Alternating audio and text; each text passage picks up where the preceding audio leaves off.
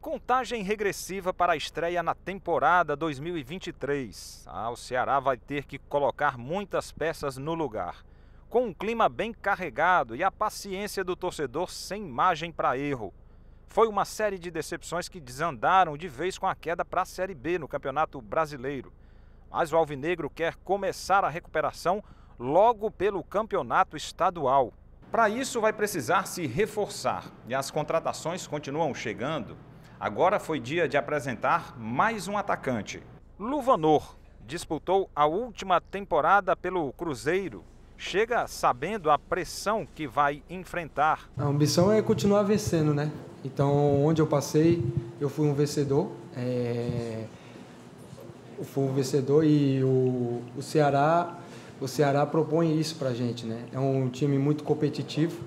Com certeza, em todas as competições que vão disputar esse ano, vai, vai competir por título.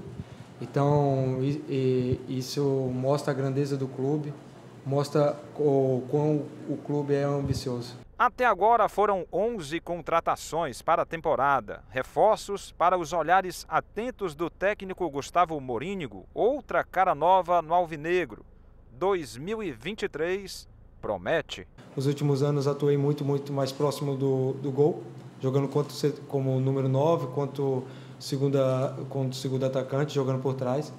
É, eu acho que durante minha carreira eu fui, fui evoluindo muito bem, onde tendo, tendo uma boa leitura dentro de campo, boa inteligência. Então, é, o mais importante é, é estar à disposição para o treinador. Eu acho que tem uma disciplina muito boa para exercer qualquer posição ali na frente.